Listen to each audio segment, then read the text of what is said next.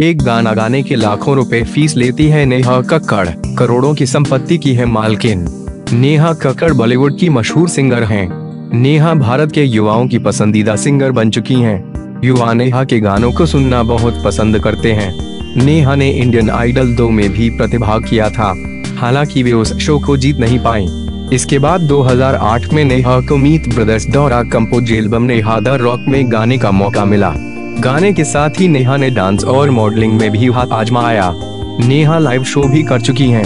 नेहा केवल अपने गानों के लिए ही नहीं बल्कि अपने लोग को लेकर भी चर्चा में रहती हैं। नेहा का ड्रेसिंग स्टाइल लोगों को बहुत पसंद आता है सोशल मीडिया पर नेहा को लाखों लोग फॉलो करते हैं नेहा अपने छोटे भाई टोनी कक्कर के साथ कई एल्बम सॉन्ग यूट्यूब पर शेयर करती रहती हैं, जिन पर करोड़ों व्यूज़ भी आते हैं नेहा ने जब इंडियन आइडल में प्रतिभाग किया तो उनको यह कहकर रिजेक्ट कर दिया गया कि उनकी आवाज़ में दम नहीं है लेकिन आज नेहा उसी शो की जज बन गई हैं।